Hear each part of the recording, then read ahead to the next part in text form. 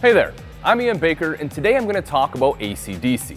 Unfortunately, not the rock band that got its start in the mid 70s, but instead the electrical current abbreviations from which the high energy rock band's name was derived. Let's start with DC, which stands for direct current. Direct current is commonly found in an automobile, cordless tools, handheld toys, essentially almost everything that contains a battery, as the battery stores direct current power. DC is also the main source of power in an RV if you plan on camping off-grid. RVs use direct current that is standardized at 12 volts. Lights, a power awning, and any electric jacks on the RV all run on DC. In your RV, it's also good to understand that DC only flows in one direction and is always seeking a ground source. In fact, it requires one to function. A good real-life example of this is if you have an automobile with dim lights. It's usually a ground issue as it's not getting a good connection. If you clean the ground and reattach it, you'll see a drastic increase in the brightness of the lights as it's now fully completing the circuit and allowing the current to flow without inhibition. Now that we've covered DC, let's talk AC power. AC, or alternating current for an RV, is 120 volts. This is used to power some of the appliances in an RV as well as Edison plugs in most cases. Alternating current is named so because the current pulses or alternates direction.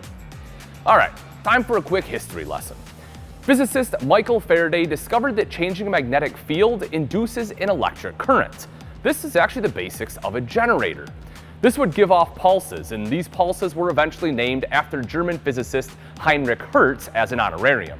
Hertz was brilliant, but believed that pulsing waves, like radio waves, would never be of practical value for our society. boy oh boy was he wrong.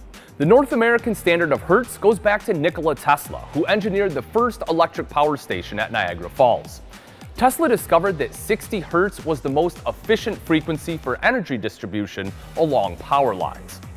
History lesson aside, why is it important to understand the difference between AC and DC current? Well, it can be quite important when it comes to troubleshooting.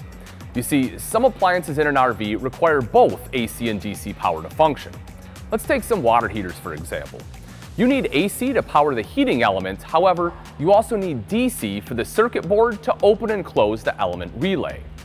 Same for some air conditioner units. You need AC power to run the head unit, but if it has a separate wall-mounted thermostat, you'll need direct current as well. Understanding the differences between AC and DC will not only help give you a better basic understanding of electric current, but it will also aid you in troubleshooting issues on an RV.